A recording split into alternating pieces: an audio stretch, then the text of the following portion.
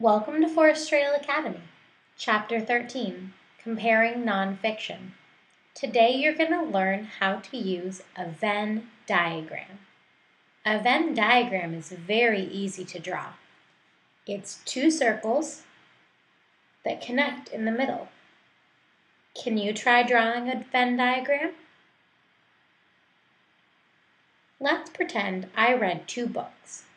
One book about different types of balls and one book about different types of clothes.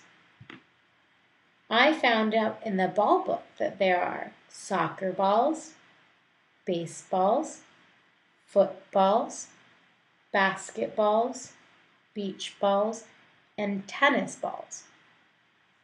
I found out in the book about clothes that there are t shirts, skirts, shorts, pants, and socks.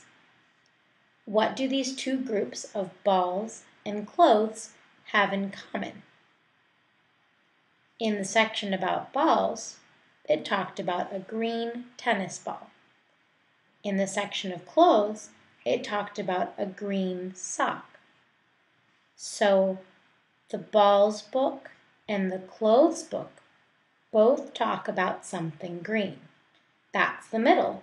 That's what they have in common. Things that are green. Now you try. Read two nonfiction books. Make a Venn diagram. Put things that are different in the outside circles and things that are the same in the middle.